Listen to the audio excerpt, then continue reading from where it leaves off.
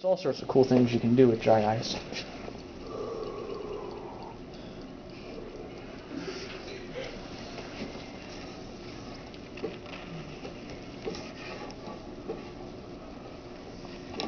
One thing that can happen is frequently if you leave a piece of dry ice sit out, it ends up with this frost layer on it. You can kind of see it on this piece here, though it's not real clear.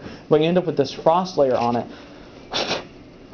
No, not shaking off there. But it kind of looks like a snow on it, and it is just frost. It's frozen water from the air, and you can't actually solidify some of the water. Certainly, though, what most of what we see when we see dry ice is not the dry ice itself, but the water vapor, which also means dry ice is more effective in a slightly moist environment or in a um, uh, very humid atmosphere where you can see uh, have more water vapor than condense uh, and turn back from gas into liquid. So what you're seeing here is actually a whole bunch of tiny liquid water drops or little clouds or fog. Because that's all clouds and fog are as well.